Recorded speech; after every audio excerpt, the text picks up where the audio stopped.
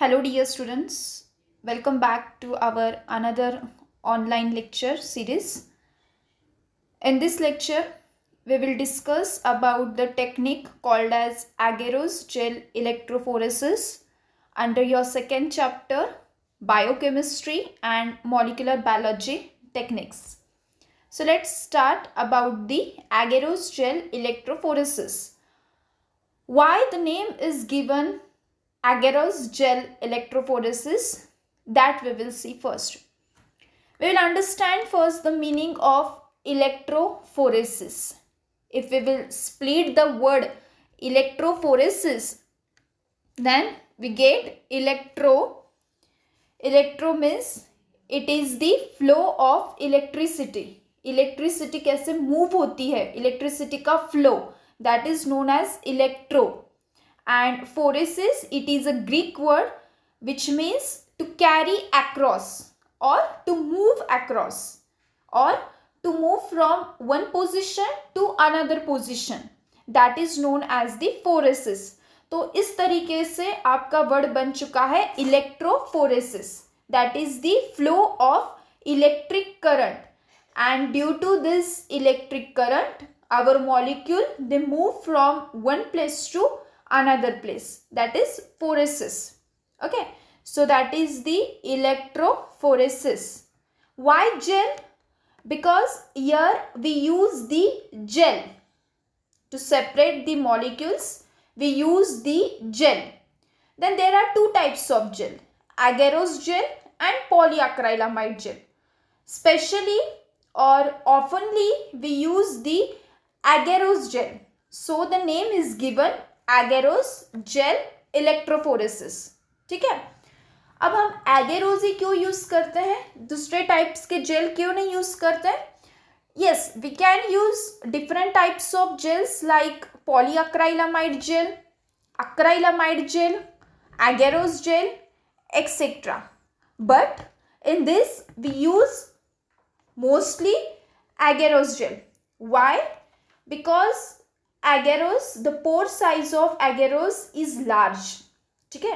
Agarose की पोर size क्या होती है? लार्ज होती है। Then polyacrylamide gel so to separate the large size molecule like DNA RNA large size proteins we use the agarose gel ठीक है? लार्ज मॉलिक्यूल्स सेपरेट आउट करने के लिए हम एगेरोज जेल यूज़ करते हैं। लार्ज मॉलिक्यूल जैसे DNA, RNA, large size proteins, okay? So to separate out large size molecule we use the agarose gel and polyacrylamide gel to separate out small size molecules like small size proteins okay so polyacrylamide gel is use to separate small size molecule and agarose gel is used to separate large size molecule. And here we want to separate the DNA और small size protein. अब यहाँ पर हमें क्या separate करना है DNA separate करना है तो हम एगेरोस जेल यूज़ कर रहे हैं ठीक है to separate out the DNA, we are using agarose. Hence, the name is given agarose gel electrophoresis.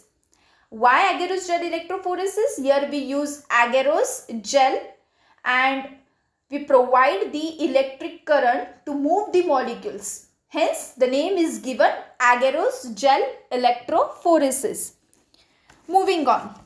Gel कैसी होती है? A gel is a colloid suspension of tiny particles in a medium occurring in a solid form और like gelatin semi solid होती है। लेकिन ज़्यादातर किसका nature होता है?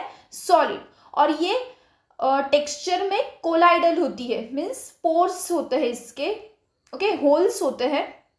Small small so a gel it is a semi solid और a solid like gelatin then gel electrophoresis it refers to the separation of charge particle हम यहाँ पर क्या करते हैं?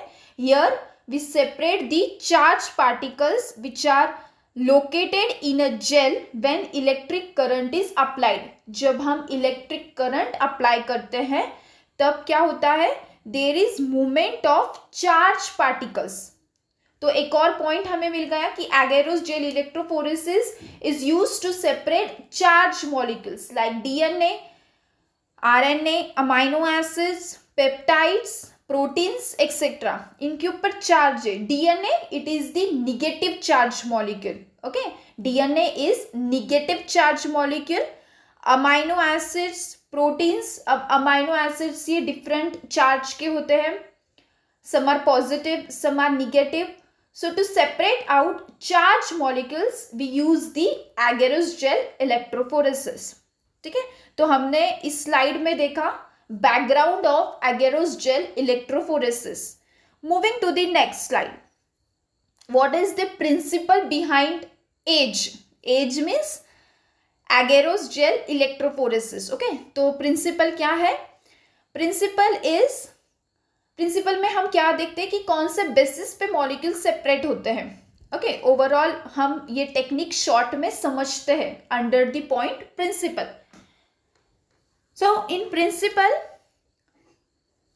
of age और agarose gel electrophoresis in this DNA molecules और fragments of DNA are separated on the basis of size हम यहाँ पर साइज़ के बेसिस पर डीएनए मॉलिक्यूल्स सेपरेट करते हैं okay so on the basis of size we separate out the DNA molecules this separation is done by moving negatively charge DNA molecule through the agarose matrix with electric field मतलब अब यहाँ पर हम DNA fragments या कोई भी biomolecule ये हम सेपरेट करते हैं on the basis of size अब हमें यहाँ पर डीएनए सेपरेट करना है okay suppose we want to separate the DNA and we know that DNA is negatively charge biomolecule तो यहाँ पर क्या होगा? Separation is done by moving negatively charge DNA हम वो डीएनए को जेल के ऊपर रखेंगे एगेरोस के ऊपर रखेंगे and we will apply the electric field okay जब हम इसका प्रोटोकॉल देखेंगे और when we will study the steps it will be get more clear to you but background क्या है कि हमें यहाँ पर डीएनए सेपरेट करना है so we will that DNA on to the matrix and apply the current और apply the electric field अब electrophoretic unit it contains the two electrodes okay electrophoretic unit जो होता है it contains the two electrodes अब electrophoretic unit if you will see the diagram this is the diagram of your complete apparatus called as electrophoresis equipment or electrophoretic unit. Okay? So, it consists of two electrodes. वो दो electrodes कौन से हैं? This two one is shown in red colour and second is shown in black colour तो ये जो red colour का है it is known as anode okay this red wire it is known as anode and the charge of this anode is positive ठीक है? Anode is positive charge और जो black colour में है, वो है cathode okay the wire which is shown in black colour it is the cathode which is negative charge so anode is positive charge and cathode is negative charge keep this point in mind because it is very important uh, पूरा principle और separation इसी पर depend है ठीक है anode positive charge cathode negative charge anode red wire cathode black wire ठीक है so that is been there okay तो हमने जैसे देखा कि yeah it contains two electrodes anode and cathode anode is positive charge and cathode is negative charge so DNA it will move from cathode to anode उसकी movement कैसी होगी?